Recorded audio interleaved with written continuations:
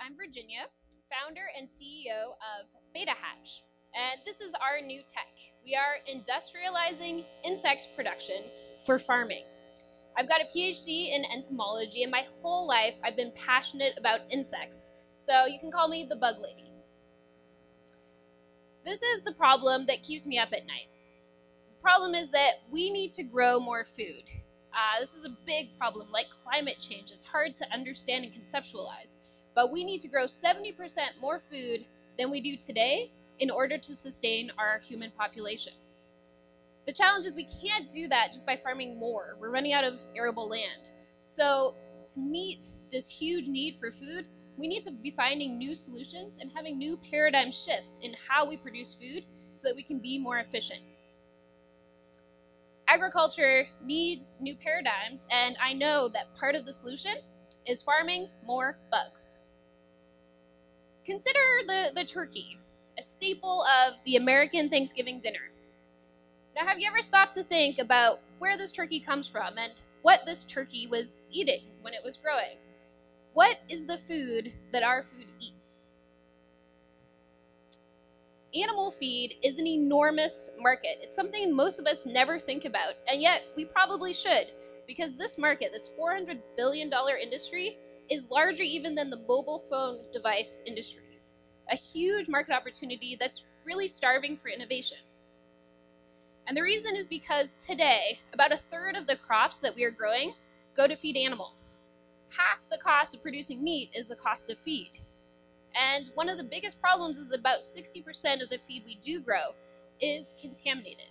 Harmful contaminants like mycotoxins, which are left behind by bacteria and fungus, uh, are actually carcinogenic, and these end up in our food system. On top of that, we have a huge rise in antibiotic resistance, and so farmers need new tools. Bugs are one of these tools. At Beta Hatch, we farm insects, and these allow us to grow not only more protein, but better proteins. Specifically, we are farming mealworms. These are a type of darkling beetle, so they go through a full transformation just like a butterfly does. The adults are the beetles, and the mealworm is the larva. And we are farming mealworms because they are a super bug. They can be grown continuously indoors, year round, unlike soy or these other feeds that have one or maybe two seasons a year. We have 52 harvests right now at our farm. So I've actually had more harvests in one year than the average farmer has in their entire lifetime. We can grow them anywhere. We're doing this right now in a converted office space down in SeaTac. Um, and you can produce them completely dry. So they are a complete protein, about 60% protein, 30, percent fat when they're dried. Uh, and we can grow that using no additional water. On top of this, mealworms are an incredible biodegrader of all kinds of things. They can actually take those mycotoxin contaminated feeds, eat them, and they don't accumulate those toxins in their bodies, which means that we can get those nutrients and calories back into the food system faster. They also can eat inorganic waste. Believe it or not, insects can eat plastic. The only known way to biodegrade styrofoam is in the gut of a mealworm. And they have a natural prebiotic function in birds. So if you think about what that turkey was eating, if it had its choice, it would be eating bugs. And these prebiotic functions in birds and in fish reduce the need for antibiotics in our farming systems. So I want to share a little picture of the farm, but it's top secret. So I've shown instead uh, a picture of a server farm, which is actually very close to what our farm looks like. We can stack vertically at incredibly high density. Uh, the environment is very well controlled, it's extremely clean. You might ask, why are we not farming bugs today? And it's because it's actually quite hard. So all of the technology that we have been developing is around uh, innovation that enables scale. So we're able to produce tons and tons and tons of bugs, which has never been done before. So today, this is where we are operating out of our farm in SeaTac. It's a converted office space. We harvest about a million eggs a week. You can see that second picture, a pitcher full. That's what a million beetle eggs looks like. Uh, next year, we'll be expanding to a warehouse scale farm, forklift compatible, able to start generating the volumes that can deliver into these bulk agricultural markets. And in the future, insects will be a part of waste management around the world. reducing harmful runoff from chemical fertilizers, and improving the supply chain for naturally grown meats. So I want to end with a little call out to some other really important insects in our history. Consider the honeybee. A third of all of our food requires pollination. Think a little bit about the silkworm. Entire civilizations were crafted by the products from this bug.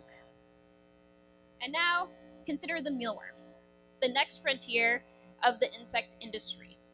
Because today, every day, three times a day, you all need a farmer, and in the very near future, every day, three times a day, you're going to need a bug. Thank you.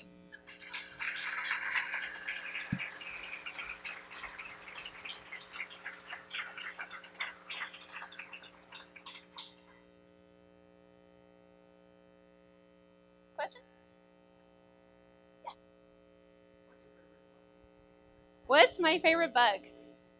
My favorite bug are ants. Um, I love social insects. I did my PhD on ants and how they communicate with each other using chemicals. Um, they have all the pillars of human civilization. They farm, they have livestock, they have warfare, they even have slavery. Um, all kinds of behaviors. Ants, ants do them. Uh, ants are my favorite bug.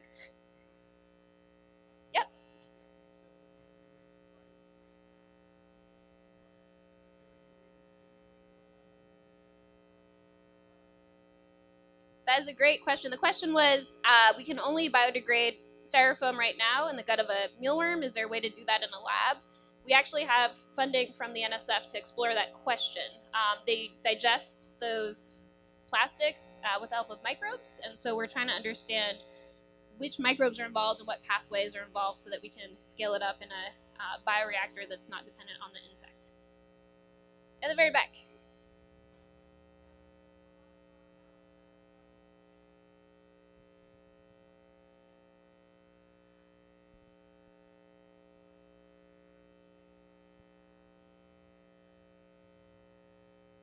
Um, so the question was about uh, salmon and some of the genetic consequences of the salmon industry.